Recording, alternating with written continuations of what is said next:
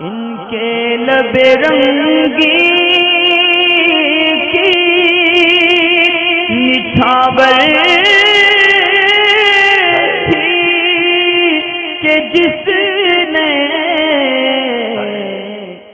एक सवाल ये है कि अगर किसी शख्स के पास रोज़ा इफ़ार के वक्त खाने के लिए कोई सामान नहीं है तो वो रोज़ा इफ़ार किस तरह करेगा? तो देखें अगर ऐसा मसला तो दरअसल पहले के वक्त में सफ़र में पेश आता था कि कहीं ऐसा मा, मामला नहीं होता था रस्ते में कोई खाने पीने का सामान पास में नहीं होता था। तो जब इस दौर में आदमी को पता है कि मेरा रोज़ा है और मुझे सफ़र पर जाना है या ऐसी जगह पर जाना है और मैं तो ज़ाहिर है कि अपने साथ उसको खाना या पानी ज़रूर रखना चाहिए। और क्योंकि दौर ऐसा है कि इसमें आम आदमी की जेब में इतना इतनी रकम ज़रूर ज़रूर होती है एटीएम कार्ड वगैरह का सिस्टम भी होता है कि आप कहीं से भी पैसे निकाल के कोई भी सामान ख़रीद सकते हैं, खा पी सकते हैं और अपने रोज़े को इफ्तार कर सकते हैं। तो रोज़ेदार को ये बात मालूम है कि मेरा रोज़ा कितनी देर में खुलेगा, अगर वो सफ़र पर भी है तो कहाँ बस रुकेगी, कहाँ ट्रेन रुकेगी, वो खाने पीने का सामान साथ में रख सकता है और इस एहतियात के साथ घर से भी लेके चल सकता है कि अगर रास्ते में रोज़ा खुलेगा, क्योंकि आजकल तो पानी भी दरअसल मोल मिल जाता है बिस्लरी की बोतल में तो उसको भी आप ख़रीद के रोज़ा खोल सकते हैं। और अगर आपका सवाल ये है कि कोई शख्स ऐसे जंगल से गुजरा कि जहाँ इस बात का अंदेशा नहीं तो और वो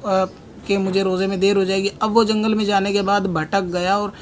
रोड के ऊपर या हाईवे के ऊपर नहीं निकल पा रहा। तो ऐसी सूरत में अगर रोज़े का वक्त होगा उसके पास ना तो कोई खाना पीना है, पैसे तो मौजूद है, मगर वहाँ जंगल में ख़रीद नहीं सकता। अगर कोई ऐसी दुशारी या कोई ऐसे सफ़र पर निकला और रास्ता भूल गया और वहाँ पर खाने पीने की कोई सामान या दुकान नहीं है, मगर इस पर रकम मौजूद है तो ऐसी सूरत में जब तक आदमी जंगल से बाहर नहीं आएगा या हाईवे पे नहीं पहुँच सकता तो ऐसी सूरत में उसको क्या करना चाहिए? क्योंकि ये मसला तो दरअसल दरपेश आ जाता है क्योंकि बाज़ लोग गाड़ी लेकर कहीं सफ़र पे निकलते हैं तो वो गाड़ियाँ शॉर्टकट निकालने के चक्कर में भी अंदर अंदर जो है ना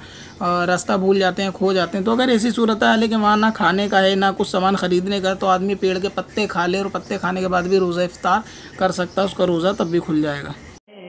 पत्थर में உடனே வா